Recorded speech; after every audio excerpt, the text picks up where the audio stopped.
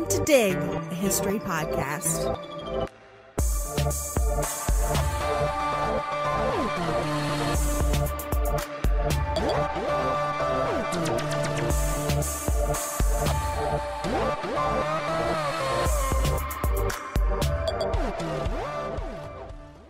Today we're going to discuss alcohol consumption in early America.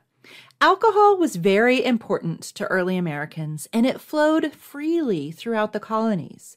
Adults and children alike drank alcoholic beverages for a variety of reasons, one being that it was one of the few things that were safe to drink at the time.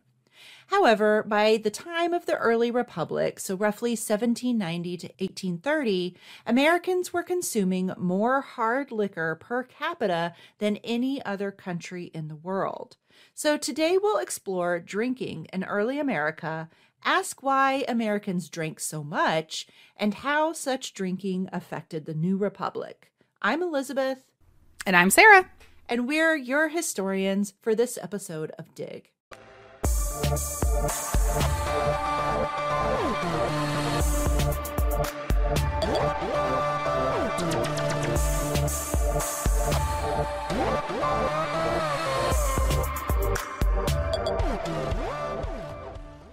Alcohol arrived in North America with the arrival of European settlers. Except for a few indigenous nations in the Southwest that used alcohol in seasonal rituals, Native Americans did not drink alcohol.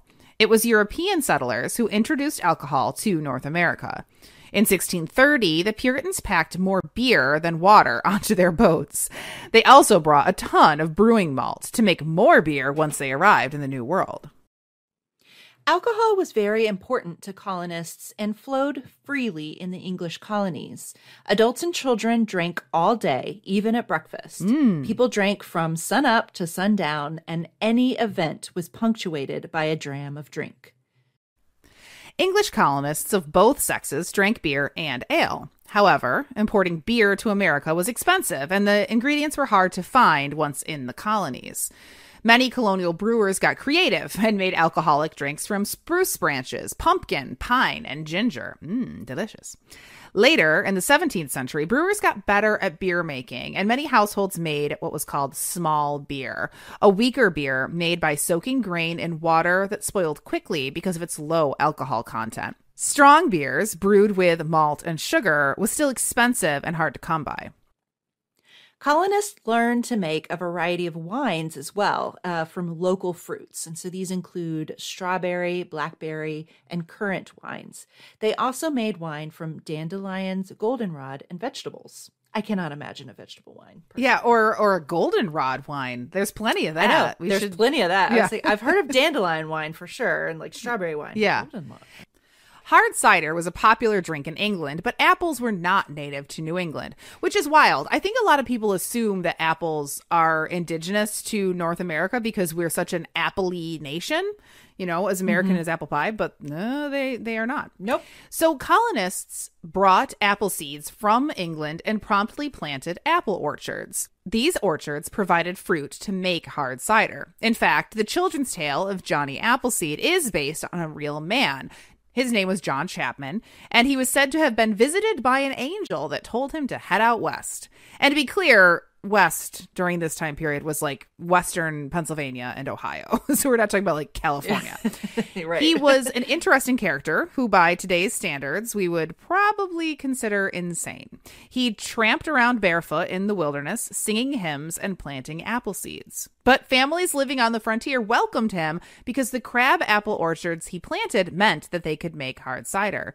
Have you ever sung the Johnny Appleseed song? Sing it to me. I, I probably have. When I was yeah. when I was in 4-H, we had to sing the Johnny Appleseed song before we were allowed to eat. It was like the prayer basically, and it goes, "Oh, the Lord is good to me, and so I thank the Lord for giving me the things I need: the sun, the rain, and the apple seed. The Lord is good to me." oh my gosh, I yeah, you know. What I don't know if I ever sang it, but that definitely I think I'm just thinking of like the old Disney cartoons. There was like a oh, Paul yeah, Bunyan yeah. one and a Pecos Bill. Mhm. And I think there was There a- is an apple Johnny Appleseed Yeah. one, isn't there? Mhm. I don't know. Anyway, that's very sweet, Sarah. It's very quaint. I am very sweet. Rum was also an important spirit to early Americans. In the triangle trade, manufactured products from England were shipped to Africa, where they were exchanged for enslaved Africans. Those Africans were taken to the West Indies, where their lives were traded for molasses. That molasses was shipped to New England distillers, where they made it into rum, which was then shipped back to England or consumed in the colonies. By 1770, America was importing 4 million gallons of rum, and they were making 5 million gallons of rum per year. Jeepers. That's a lot of rum. It is. so we just watched Black Sails like we just binged Oh. Black Sails, and so like I was like really thinking about rum because later you'll see in the episode I go into a lot about whiskey. I'm like, but where's the I just watched all this pirate stuff, and so we'll explain in a minute. okay. Many gentlemen were importing and drinking Madeira, which is a strong and expensive imported wine that was made in the Portuguese Madeira Islands off the coast of Africa. However, whiskey ultimately became the drink of the common man in America.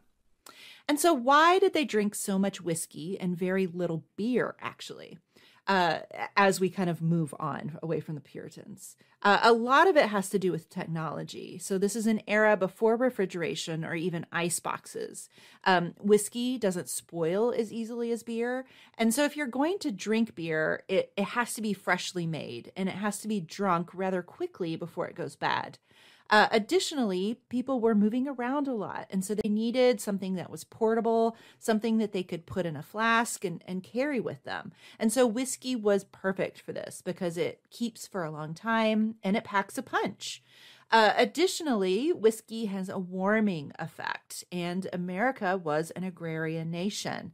There were a lot of people working outside, and they believed that it was beneficial to drink alcohol while working, uh, that it would help you get your work done, essentially. And so, alcohol in general was understood as nourishment and medicine. It sounds like me in college. Like I, I, th- I thought that I could read and write faster if I had had just like maybe one and a half beverages. I don't know that it was necessarily true. It's certainly not true anymore because now I just am like it's sleepy time. Yeah. Taverns were central to colonial American life. They were often the only place for people to congregate for miles around, except maybe the church. Taverns were the nerve center for official public life in the colonies. You could eat, drink, and rest at a tavern, but they were also one of the main ways that people learned what was happening in the rest of the world. The early name for taverns was public house, which turned into the pub. At the public house, people talked with traders and travelers and developed political opinions. In many towns, the tavern would also double as the courthouse. By the eve of the American Revolution, nearly half of Boston's tavern keepers were also elected to official offices. So these tavern keepers became prominent revolutionaries. Tavern owners were uniquely situated to organize informal resistance to the colonial government. Taverns were a perfect place to learn and spread revolutionary news and great places to organize and influence militias. So basically, you had a bunch of drunken, angry patriots all in one place. And so taverns were essentially the incubators of the revolution. In fact, one in five Sons of Liberty were drink sellers. The American Republic was a radical, grand experiment for its time, and so this was a risky venture because it expected a lot of people. In a monarchy, the duty of the people is essentially to obey, but in a republic, the citizens must participate. They needed to vote, they should follow the issues, keep abreast of the issues. They should be involved in campaigns. And so a republic asks much more of people. However, this foundational period for the new American Republic is also the high point for alcohol consumption in America. And so there's this paradox in that this is a period where political ideology said that we need an electorate where the people are committed to the well being and common good of the country. The Republic needs its citizenry to set aside self interest to advance that common good. Um, and so this political ideology relied on what they called virtue, uh, the ability to be level headed and put oneself aside for the common good. And yet, this is also a period where people are drinking like it's going out of style. In 1790, so roughly two years after the Constitution was ratified, Americans were drinking three and a half gallons of 90 proof alcohol per capita per year. 90 proof means about 45% alcohol. So we're talking about hard liquor like whiskey. Yeah, so I went into my liquor cabinet just to look. And so like my gens were all between 44 and 47% alcohol, right? Um, Uh-huh. In comparison, most wine is about 11% alcohol and beers range 4 to 7%. So so we're talking about the hard stuff. Yeah, yeah. That's, yeah, you're really drinking. Okay. So in the US population, per capita means everyone, including children and babies. So these numbers take the whole quantity of alcohol consumed in 1790 and divide it by the total population, which came out to three and a half gallons per person. Now, it's fairly safe to say that men were the ones that were drinking most of this alcohol. And we base this on documents discussing drinking at the time and general understandings of biology, right? So children, of course, couldn't couldn't drink as much as adults and when they did they were often drinking small beers or lightly fermented beers and ciders uh, something like in bavaria you'd call it kinder beer Kinder um, beer. I know, isn't that amazing? um, and then, of course, then by elements such as body weights and and cultural rules of comportment, it's safe to say that women were not drinking as much as men on the whole. And so, when we consider these factors, the average consumption of alcohol for a grown man in 1790 was roughly 16 gallons per year of the equivalent of 90 proof alcohol. Whoo boy. These early Republic numbers were higher than estimates made for the colonial period, but they continued to rise. By 1830, it was up to four gallons per capita in the US, or seven gallons per adult. Again, considering men were probably drinking more than women, it's probably about 18 gallons per adult male. And just to put this in perspective, Americans drink about two gallons per capita today. So the numbers we are talking about are astounding. And although many people in Europe also drank a lot during this period, it's notable that American drinking habits were, uh, you know, rare or important enough for foreign travelers to comment on. So one English visitor said that Americans were, quote, certainly not as sober as the French or the Germans, but perhaps but perhaps on the level with the Irish. Oh my goodness. and now this was a period of intense subjugation of the Irish by the English. So this Yeah. coming from an Englishman, you know, kind of equating Americans with Irishmen is is is a severe put down. Right. Yeah. Yeah. This is an insult. Can I, um, just to clarify, when we say that Americans drink about two gallons per capita today, that's probably not just hard liquor, though, right? I don't know. Would that inc- probably include like wine and beer? I, would imagine. I, I mean, it doesn't matter. I don't know. I was just wondering because like the th- that's one of the differences is that it's like Right.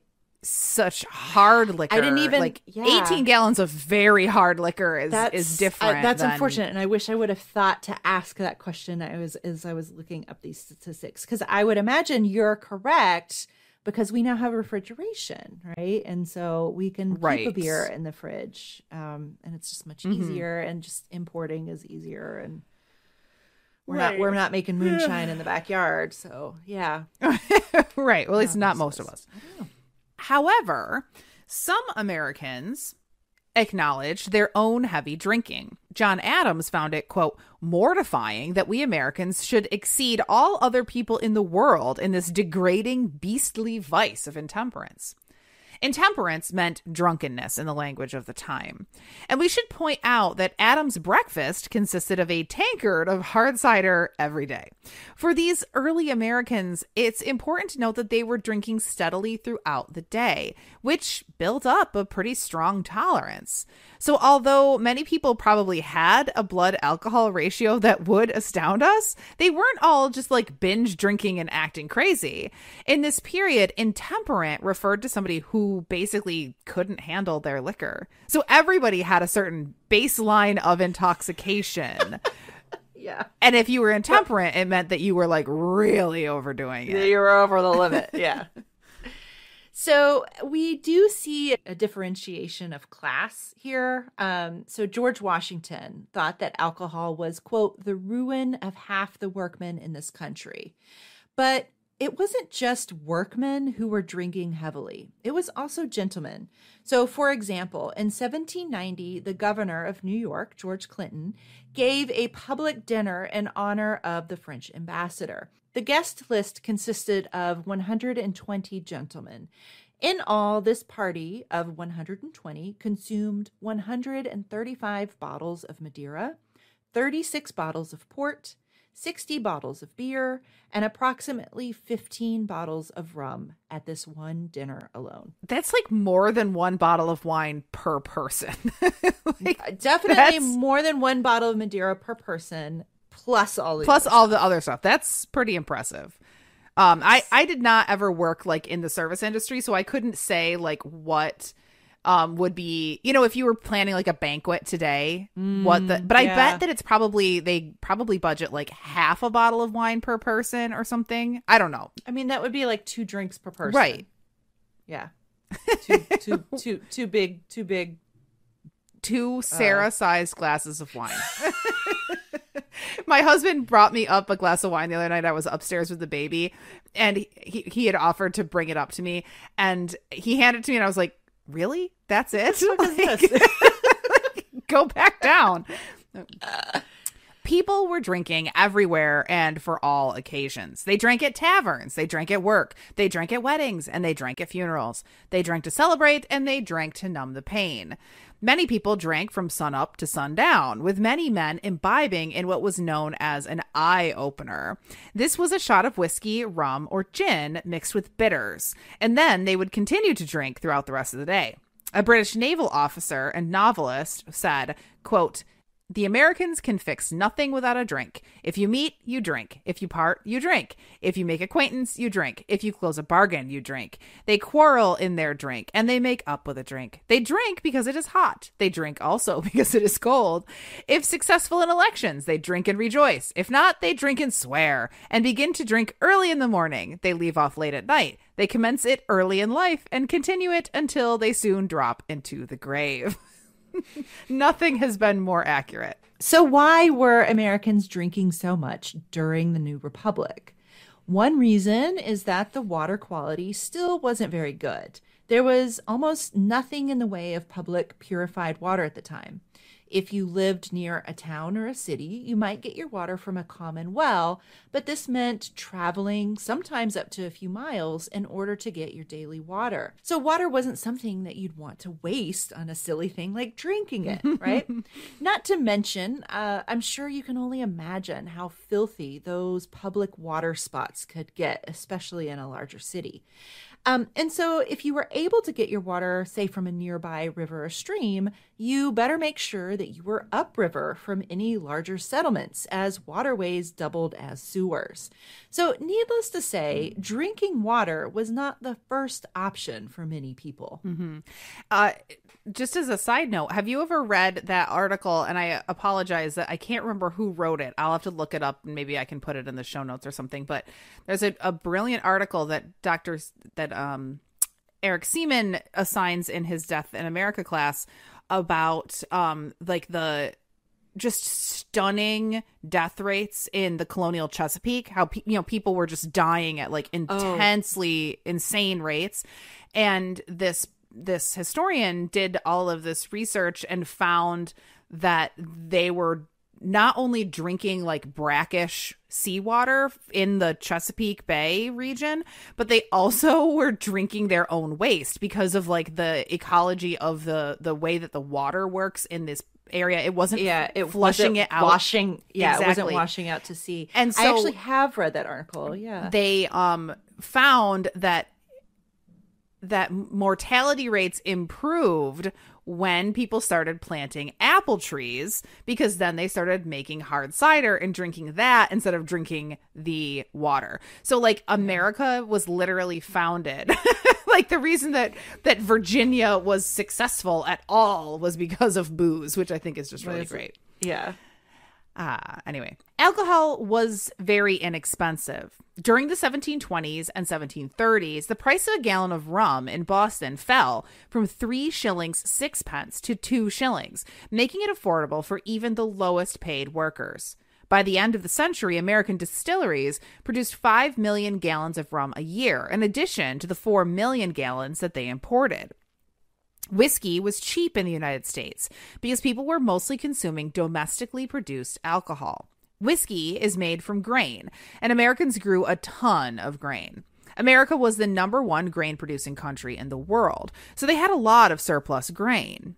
Often, the grain growers were at a distance from the markets where they would sell those grains. For example, if they were in western Pennsylvania and they had to get their produce over the mountains to the market in Philadelphia, they needed something that was more portable and higher value per volume. Like it was just really difficult to like transport big, you know, amounts of corn over Right. the Appalachian Mountains, right? So distilling their crop into whiskey made it much more marketable in the East and just easier to move. this mm-hmm. meant that there was more whiskey being produced in the United States than in any other country in the world.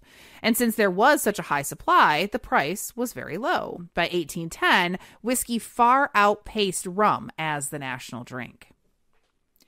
Another factor that made alcohol so inexpensive was that governments didn't tax whiskey.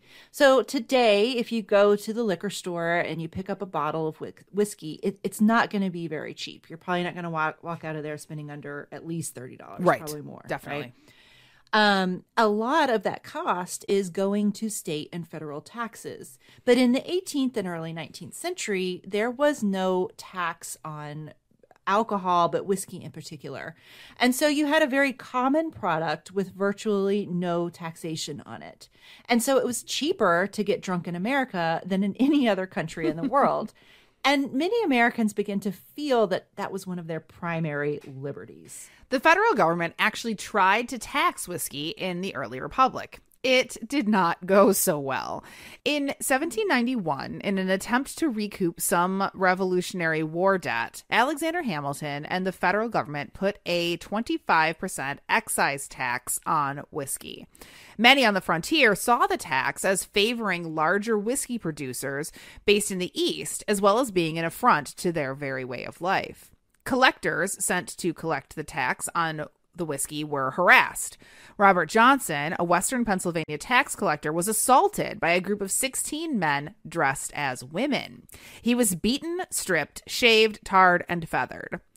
Which we think that of tar and feathering as like kind of like a funny thing, but like it sucked.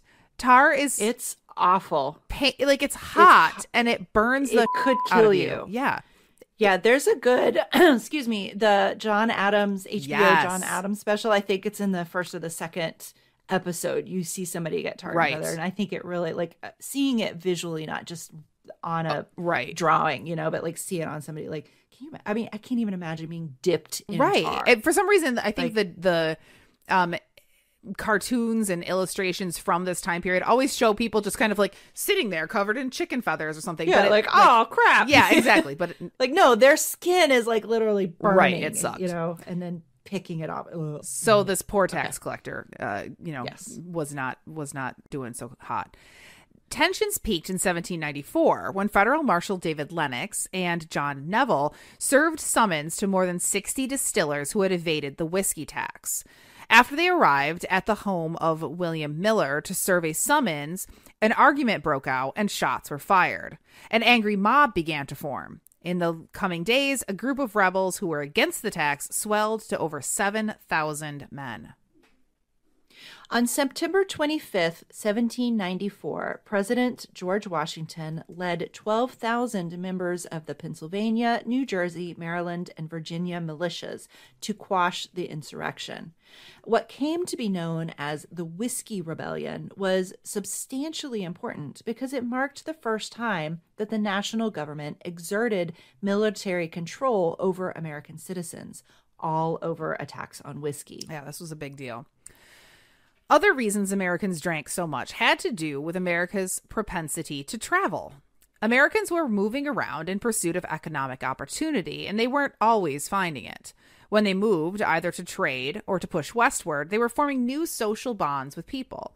It was a custom to share a drink with a new acquaintance. Almost every social occasion featured drinking the local corn husking, barn raising, funeral, marriage. There was even a special brew for birthing. Another factor is what Americans ate. Their diet was very heavy on meat, but without refrigeration, meat had to be preserved with salt or it was smoked. And in both of these cases, if you eat a lot of meat like that, you're going to be thirsty, right? Salty meat meats you want to drink, right? and so back then, your choices were water, which was probably pretty nasty, or whiskey. And most people chose whiskey or some other form of alcohol. And so there was this belief that after you had a heavy meal of salted or smoked meat, that you need alcohol to settle your stomach. Yeah, you gotta have your you gotta have a glass of bourbon to go with your barbecue. Which sounds pretty good to me right now. Americans were notorious for eating massive quantities of food and eating it as quickly as possible. European visitors were just astonished at American eating habits. They would just marvel to see these huge quantities of hams and bacon being scarfed down in five minutes, and then they had to settle their stomachs with whiskey. One European noted, quote, as soon as food is sat on the table, they fall upon it like wolves in an unguarded herd. God, we sound like animals.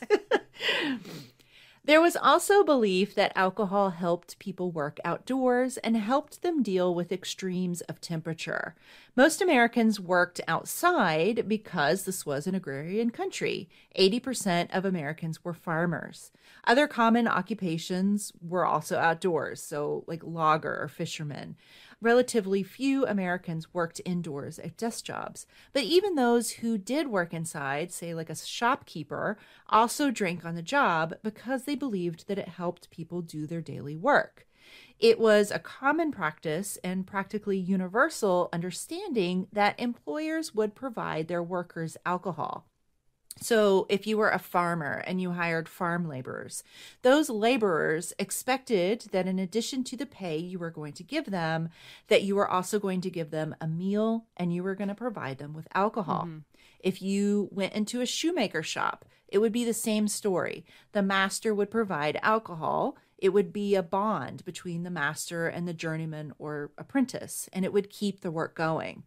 Uh, workmen digging the Erie Canal were paid in part with whiskey. So, in addition to their daily ration, they were also given whiskey in lieu of cash. Mm-hmm. Yeah, I mean, it's it reminds me too of like the the tradition within the the navies that grog was part of the deal. Like you yeah because that's what you need to survive. Right like you ha- were guaranteed a certain amount of rum or grog you know to to get you through and if the if your captain was not holding up their end of the bargain that could become a really dangerous situation. It could that's literally lead to mutiny. mutinies yeah. Yeah yeah. Enslaved people were not allowed to have alcohol, with an exception made during harvest seasons. Harvest was a special time, and so, as an incentive to get slaves to work harder during the harvest, some masters did provide alcohol. However, enslaved people saw free people all around them drinking very heavily. It was a natural state and a priority of being a free person in the new republic. So it became a goal to steal alcohol and share it with your friends in the slave quarters as an act of defiance. Elections were also punctuated by extreme alcohol drinking. So, you know, we'd like to think that Americans in the New Republic were sober when making very important decisions, but they were not. Friends and supporters of different candidates hung out at the polling places or at taverns, giving potential voters copious amounts of alcohol while telling them to vote for their candidate. Uh, an account from 1830 noted, quote, an election in Kentucky lasts three days, and during that period, whiskey and apple toddy flow through our cities and villages like the Euphrates through ancient Bab- Babylon. Of course, today we have laws that say that you must be a certain number of feet away from a polling station and you're not allowed to press whiskey on people and then carry them into the polls when they when they're uh, you know good and saucy.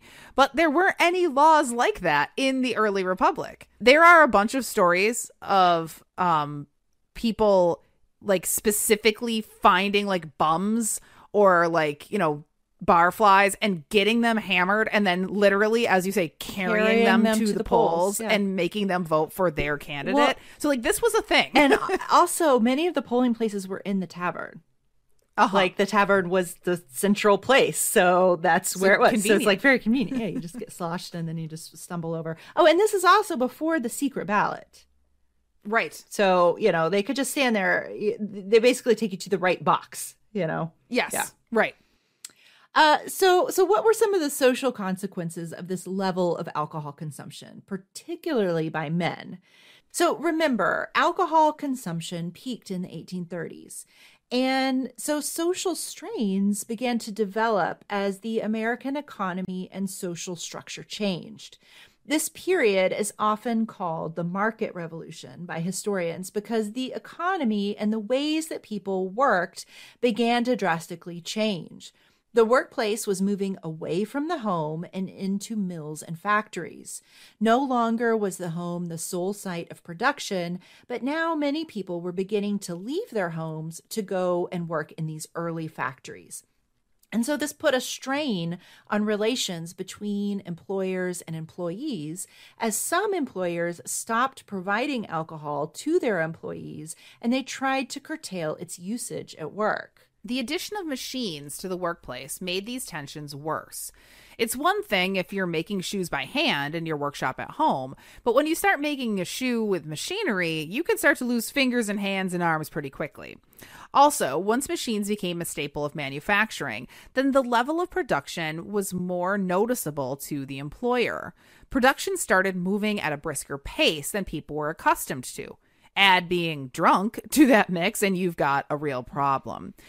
This is especially concerning to people who are organizing new workplaces, particularly factories.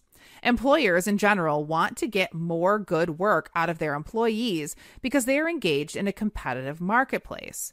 If your competitor reduces the drinking of his workers and you don't, who is going to produce more product? Well, your competitor.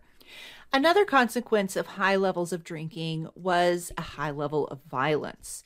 Men were surrounded by other men who were drunk. They start arguing about politics, about property lines, about the weather, whatever, and fights break out. There is also a high propensity for domestic violence. Husbands beating wives, fathers beating children, masters beating apprentices. This level of heavy drinking left some Americans to question it because of these violent social problems. And women in particular, um, you know, they are not drinking as much as men, but they are bearing many of the consequences. So, one negative consequence could be poverty. If your husband is drinking up all his wages, then there's not going to be enough food or clothing for the family. So, women became very concerned that a heavy level of alcohol consumption was leading to high levels of domestic abuse and impoverishing many families.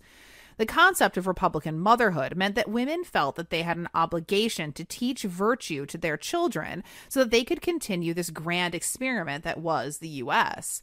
But it's hard to teach virtue to your children when the patriarch of the household is drunk a lot of the time. Women argued that their responsibilities as Republican mothers meant that they should be heard in the political sphere on issues that affected their household. And they argued that the number one negative issue affecting their households was the high level of alcohol consumption.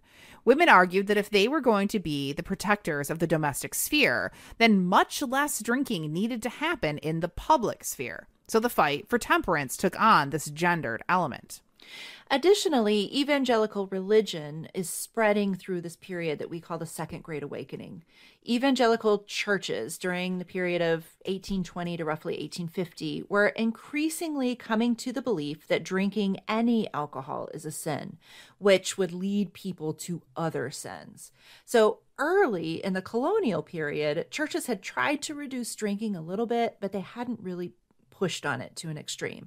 But now you had churches pushing very hard, especially in this period after 1830.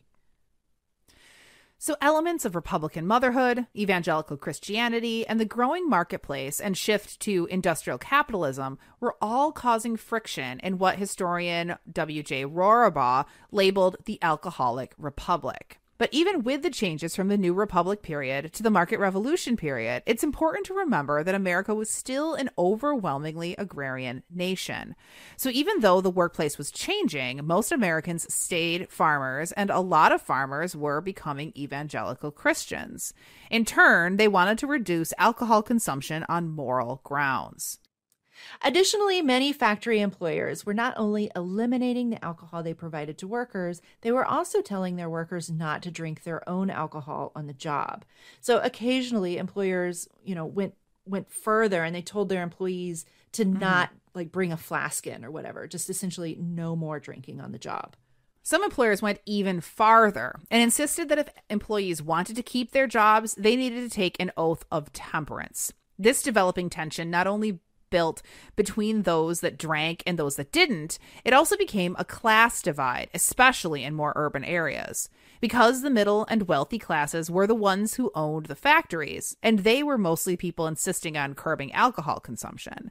The people who were most resistant to curbing alcohol consumption were the people who felt the most need for oh. alcohol to cope with their harder lives, the working classes. There were, of course, working men who joined in temperance societies like the Washingtonians. However, most people who cared about temperance and curbing alcohol at this time were the middle and upper class.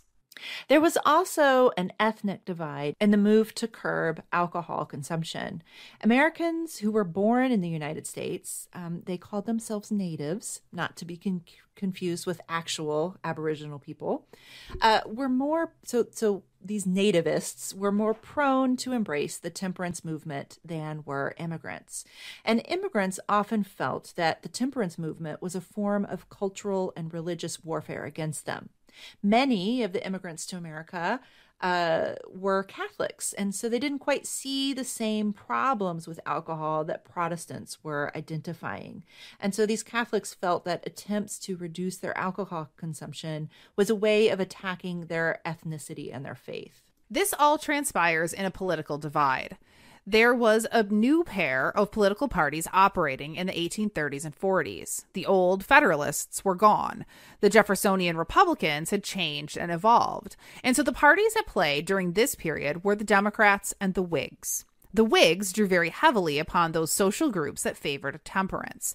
It was a party strong in the Northeast, strong among business owners, and strong among evangelical Christians. So, naturally, it embraced temperance. The Democrats, on the other hand, drew support from those who tended to be against alcohol reform, so immigrants, the working class, and rural Americans. The cultural divides over alcohol had political consequences. During the 1830s and 40s, most temperance organizations began to call for total abstinence from all alcohol instead of just a decrease in consumption. It is also during this period that temperance groups started to have a real impact on drinking levels in the United States. They initially achieved change through moral suasion, which uh, basically persuades people to move to make the, a choice themselves to change their behavior. It essentially became disrespectful to be a middle class person and to be a heavy drinker. In response, drinking levels decreased among the middle class, particularly in the Northeast and the Midwest. It was no longer fashionable or proper to be a drinker in some middle class circles, but drinking among immigrants and the working class was still, on the whole, acceptable behavior. However, temperance groups were finding that there was a cap as to how far they could go to achieve a reduction in drinking if they just relied on moral suasion. So the alternative was to get localities and states to pass laws that would forbid the sale, consumption, and production of alcohol. And there were a number of states that did take up this question of whether they should ban alcohol entirely. The first state to do this was the state of Maine.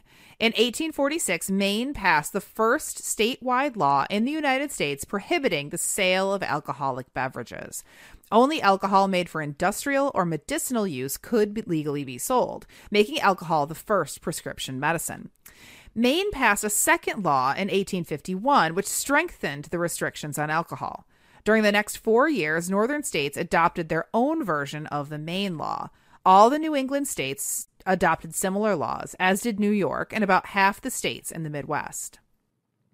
No southern states passed temperance laws, which highlights how the country was dividing over the issue of temperance and particularly over the attempt to use political prohibition to force people to change their behavior. There were a few reasons for this. The South didn't have as many factories as the North did. Also, the South didn't attract immigrant populations like the North. The South was still a very rural, agrarian part of the country. Additionally, there was also a developing suspicion about the North and any kind of social movement that developed there. That's not to say there weren't Southerners who favored temperance. There were. There just weren't enough of them to pass any laws. These so called Maine laws that swept through the Northeast and parts of the Midwest caused a lot of social chaos. Immigrants saw these laws as a bold faced affront against their religion and their culture. In many ways, these temperance laws became about racism, not about alcohol. When an anti Catholic Know Nothing party member was elected as the mayor of Chicago and tried to close taverns on Sundays and increase the cost of liquor licenses, the city erupted in a riot known as the Lager Beer Riots. Courts began striking down these prohibition laws in the late 1850s. If they weren't struck down completely, they were greatly weakened. And so the fire and passion of the early temperance movement died down throughout the 1850s and 60s. And it wasn't until the 1870s that the temperance crusade started up again with a fervor, spurred on by a women's crusade in the Women's Christian Temperance Movement, or the WCTU. And you can hear more about that movement uh, in our episode for Heart and Hearth and the Rights of Women Radical Christianity in Pursuit of Conservative Ends in the 19th Century.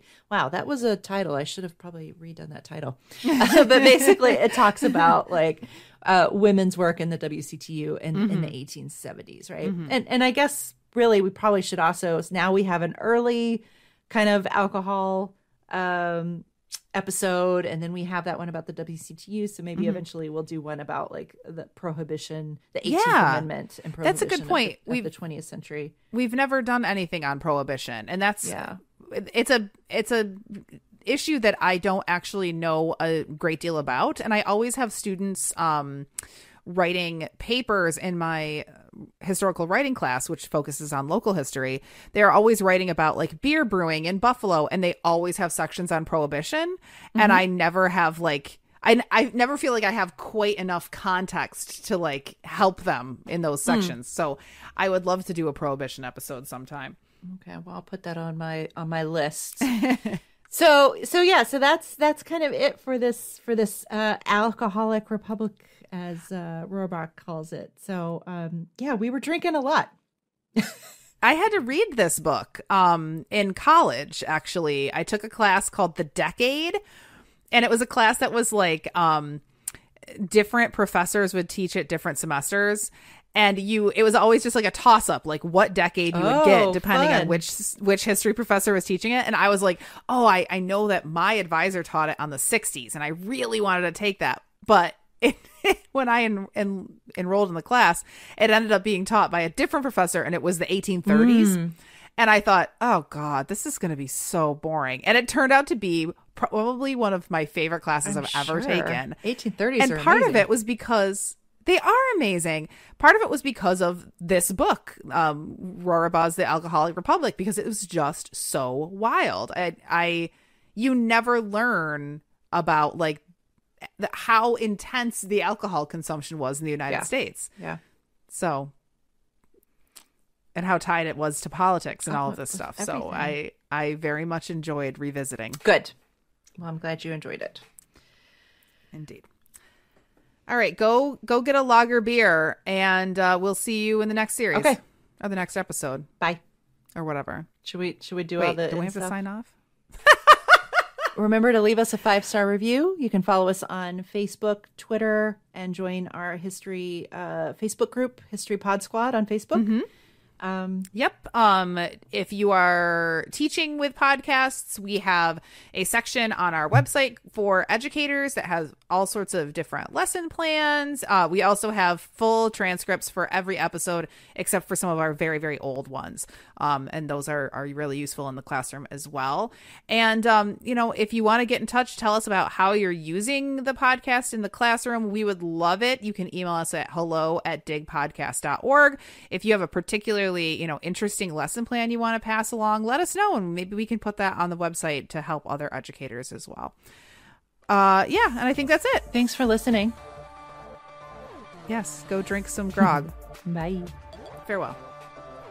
Um, relatively, uh, the Republican needs its citizenry, citizenry. Wait, you said aside. I'm sorry. You said the Republican. Okay. I kind of messed it up. The South was still a very rural, rural, rural juror. Alexander Hamilton and the federal government put a 25% excise task on whiskey. Oh, aham. Many tax. You said task. What did I say? Task? You said oh, task. Oh, God. Yeah.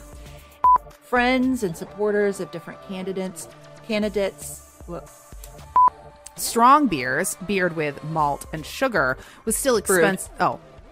Strong beard with. Beard. beer me. But even with the changes from the new Republican peer, oh my God. Alcohol was very expensive. During the 1720s and Was not. 1730s. Oh, was not very expensive? Okay. Was very inexpensive. Oh, I'm sorry. You said Okay. expensive. Yeah, yeah. I, I was recording a lecture the other day, and the and the ice cream man came by, and I think I was talking about like the the the, the worst part of the depression, Oh, and then no. all of a sudden the ice cream man goes yeah, and I'm like, oh, this doesn't fit, but I am not re-recording. all right, uh, it in it, it is sent. Um, my thing won't scroll down, so I don't know what my last uh, That was it. Sentences. Oh, Is it just one more says- sentence. So you say it. You say the last sentence. Then. No, that was your sentence. It all you the only thing you didn't say was that's all for us today.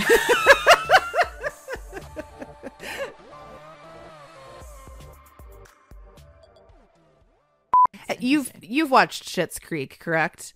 I have not. Oh I'm my like God. on earth who's not watched it. yet. My favorite episode is this one where Moira gets a job um reading like being appearing in a commercial for a local fruit wine manufacturer, but they keep making her sip the wine while she's recording. And so she gets she's getting drunker and drunker. And by the time she finally records it she can't pronounce the guy's name. So she just keeps going herb gerblinger schmerv birderner and like coming up with different versions of his name. Is hysterical. Anyway go on. Vegetable wine. Nice. Okay. Well, uh, this is your